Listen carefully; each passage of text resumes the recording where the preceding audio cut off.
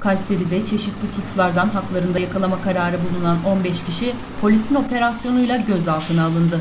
İl Emniyet Müdürlüğü, Asayiş Şube Müdürlüğü, aranan şahıslar büro amirliği ekipleri farklı suçlardan aranan 21 kişinin yakalanmasına yönelik çalışma başlattı. Bu kapsamda 77 polisle 21 adrese eş zamanlı baskın yapıldı. Evlerde yapılan aramada hırsızlık, konut dokunulmazlığını ihlal ve mala zarar verme suçlarından aranan 21 kişiden 15'i yakalandı. Gözaltına alınan 15 şüpheli Emniyet Müdürlüğü'ndeki işlemlerinin ardından adliyeye sevk edildi.